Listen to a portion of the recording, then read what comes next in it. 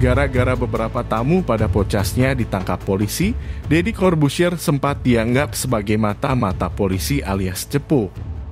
Deddy Corbusier akhirnya menanggapi tudingan tersebut. Saat menjadi tamu pada podcast curhat bank milik Denny Sumargo yang tayang, Minggu, 19 Juni 2022. Gini ya bos, saya terangkan baik-baik. Kepolisian itu menangkap orang bukan karena cepu, tetapi karena laporan masyarakat, kata Deddy Corbusier kepada Denny Sumargo.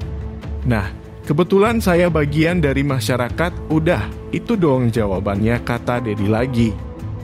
Tapi gue tekenin lagi, Megak mungkin juga ketangkep kalau Megak ada pelanggaran, timpal Denny. Beberapa tamu podcast Deddy Corbusier yang akhirnya dibui tak lama setelah hadir di acara podcastnya.